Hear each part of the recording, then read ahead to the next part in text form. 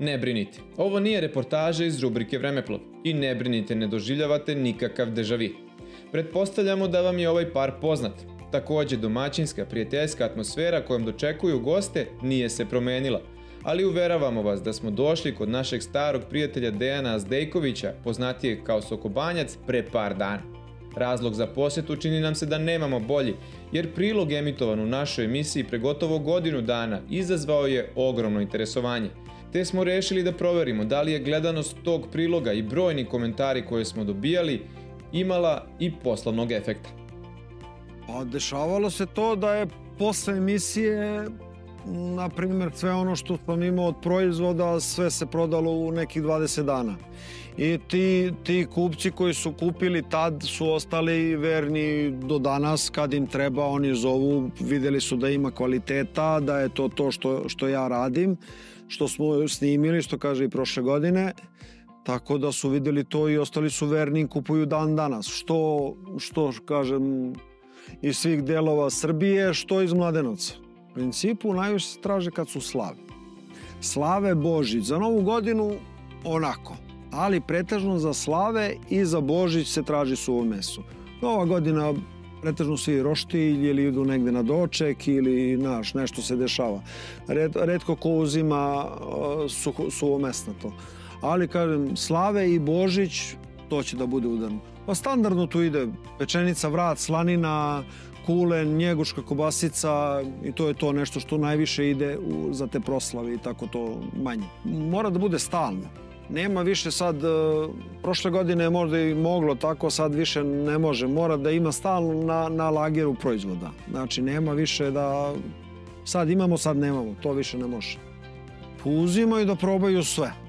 Znači, uzimaju, neko uzme da proba sve, neko uzme samo slaninu, kobasicu, kule, neko uzme samo kobasicu. U principu, u zadnje vreme, na zadnjih, znači, mesec dana počeli su tako Novog Sada, Bačke Palanke i tako da me zovu da Indije, da im šaljem, razumiješ, na, na tu stranu. Ovaj, ovamo šaljem Jagodina, Niš dole, to, to je standardno što kaže, to uzimaju. Ne nešto preterano, ali znaš, po potrebi kad im treba zovu i poručuju, što kaže. Povećana potražnja za proizvodima Sokobanjca dovela su i do promena u privatnom životu našeg domaćina.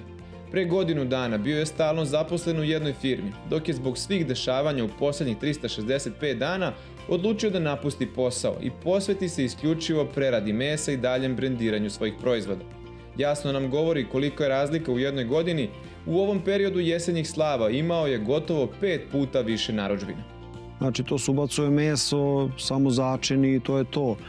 I ljudi su videli da tu ja ništa ne eksperimentišem, da se ne ubacuje ništa kao u ostalim, možda neko isto još ne, ne radi to, ali ovim velikim radnjama ima svega, što kaže, i ovaj, cene nisu nešto velike, tako da sam pristupačan što se toga tiče, bar tako kažu kupci, nije to ništa strašno da kažem.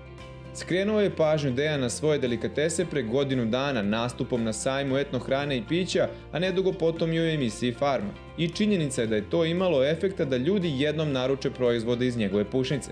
Međutim, situacija da mu se kupci konstantno vraćaju tražeći još i da već sada ima svoju stalnu armiju potrošača, govori da su proizvodi Sokobanjca zaista kvalitetni. A za dolazak do kvaliteta bitni su svi koraci. U principu svaka, svaku svinju koju kupim za preradu e, obavezno ide na proveru. Znači provera mesa je obavezna, ne pridajemo slučaju ništa. Ovaj, sad proizvode i nisam nešto povećao, jer kad bi povećao proizvode već to odlazi puno. Ne bi mogo ni da postignem, ni sve. Ovo što ima to je dovoljno, tako da, da taj asortiman što imamo to je to. Znači što su bilo i prošle godine, znači kulen, kobasica, slanina, pečenica, vrat, but, standardno što kaže, ovčetine ima, da goveđa kobasica, ona kao suđuk nešto i toga ima, tako da ostali smo na tome. Ipak, kako ne bi ova reportaža ličila na prethodnu snimljenu u ovom gazdinstvu, rešili smo da vam pokažemo i deo magije, odnosno kako to Dejan pravi kobasice, i to korak po korak. Naravno, prvi korak u spremanju se dogodio par dana pre dolaska naše ekipe.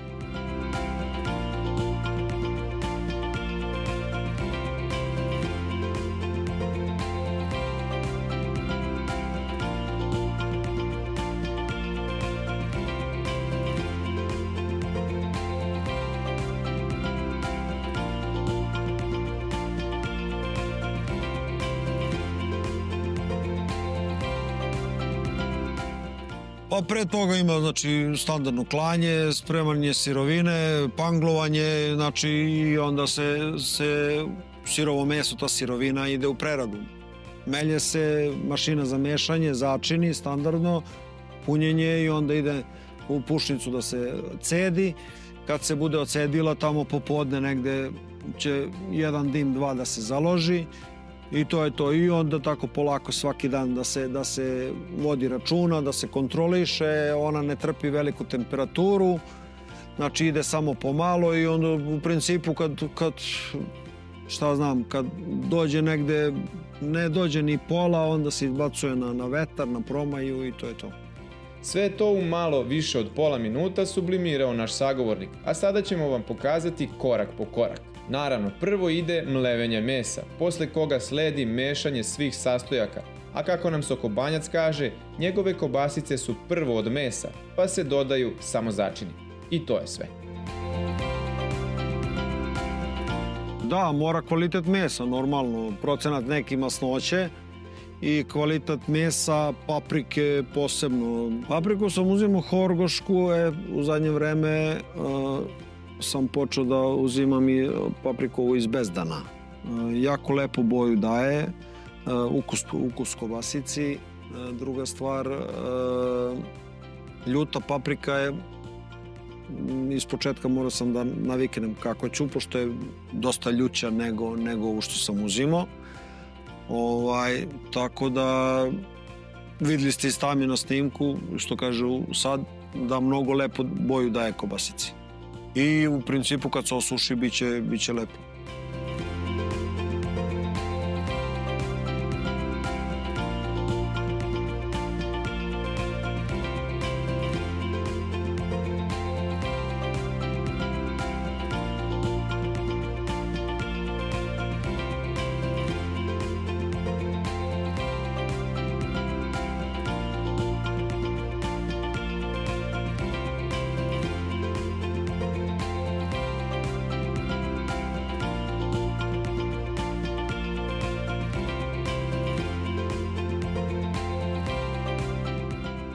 Koliko mu je danas proces pravljanja kobasica lak i koliko uživa u njemu jasno govori priča kako je sve to izgledalo dok nije kupio ove mašine.